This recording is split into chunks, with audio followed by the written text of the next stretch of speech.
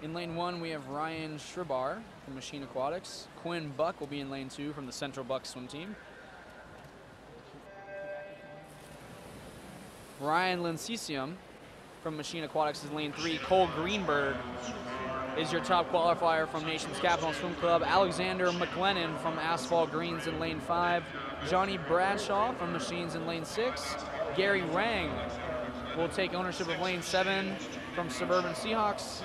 And in lane eight, John Schaefer from Machine Aquatics will round out our field.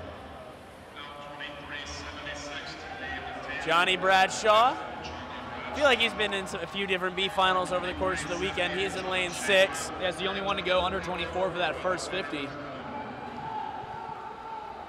Bradshaw with a nice final turn there. McClellan, Cole Greenberg, all in a line as they come into the wall. And it's going to be Cole Greenberg pulling ahead down the stretch and winning in 49.45. Followed by McClellan and, and uh, actually third was Schaefer and then Bradshaw, all getting under 50 seconds. Four swimmers there